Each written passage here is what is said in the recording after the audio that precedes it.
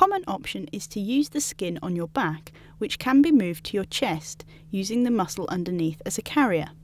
This is called a latissimus dorsi flap, often referred to as an LD flap. Latissimus dorsi refers to the back muscle that is utilised in the procedure. Some of the skin and fatty tissue from the back is left attached to the muscle.